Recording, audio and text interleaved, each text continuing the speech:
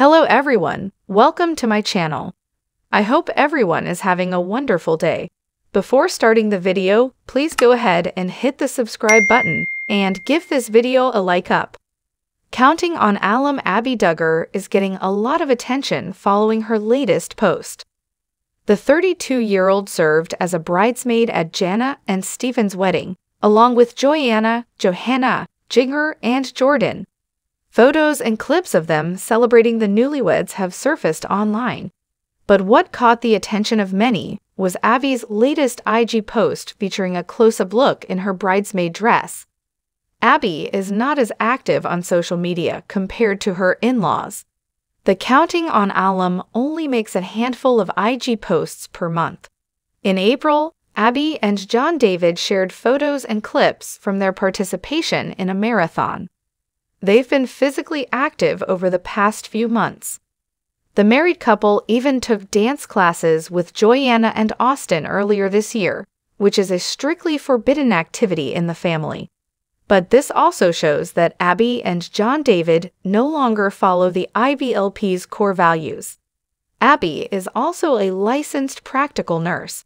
However, she hasn't been deployed to any medical facilities since receiving her license in 2017. In an Instagram post, Abbie shared photos from Jana's wedding. What a special weekend celebrating at Jana Duggar and Stephen. The Counting on Alum captioned, One of the photos featured an up-close look at Abbie's bridesmaid outfit, and many were stunned. According to some, Abbie Duggar just keeps looking younger, even after having multiple kids. Abbie, you just keep getting more and more beautiful, and your children are absolutely gorgeous. John David, you are a lucky man with an amazing family. How do you look better after having kids? Abbie, you look amazing. I know you are so happy for Jana. Sending love to everyone. You look so pretty, Abbie. You look beautiful, Abbie. Jana and Stephen Wissmann have not shared updates since tying the knot on August 15. Many of their recent posts are about their wedding ceremony. In an interview, Jana said she's planning to move to Nebraska in a small house that her husband bought, adding that she's excited to implement some renovations.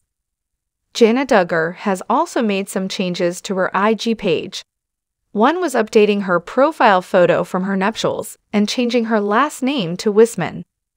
If you are looking for more Duggar family news, come back to Bombshell 24 for all your updates.